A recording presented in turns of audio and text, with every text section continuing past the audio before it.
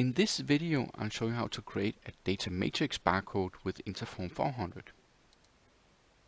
To create a data matrix barcode you first need to create a data matrix font number and when you do that one of the specifications is the module size and the module size is actually the size of these small dots that makes up the data matrix barcode. And the size of these are measured in dots, where we are talking about a 300 dpi resolution. If you set up a module size to be 3 points, then the module size will actually be 100 parts of an inch.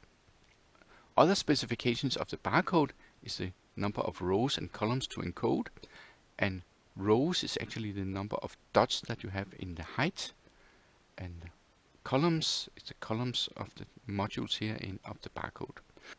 So if rows and columns are filled out and have the same number, then the barcode will be a square. If you don't fill them out, then the barcode will just grow uh, to a square that, that uh, is as small as possible to contain the data that you put into the barcode.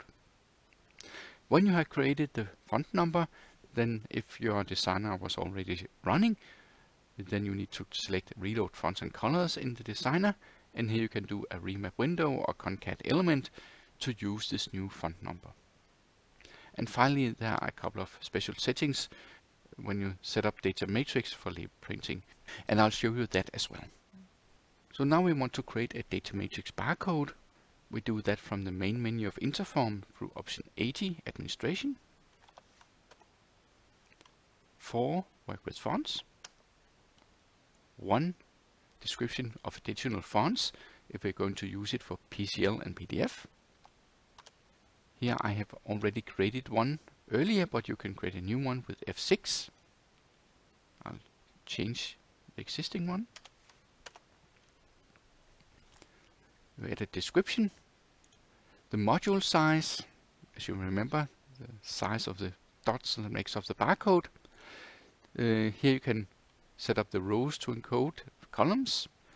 Line separator is actually uh, how Interform is going to present line breaks uh, between the lines if you if you transform multiple lines into the barcode. The hex byte prefix is described in another video. I'll include a link in the description. If you want to use GS1 or EAN or UCC uh, data matrix barcodes, then you should enable it through this option if you want to limit the encoding of the data that you put into the barcode, then uh, you can limit it to C40 only, but normally you should just say no to this option. If you have doubts as to which combinations of rows and columns that are supported, then you can use F4, and here you see the possible uh, options.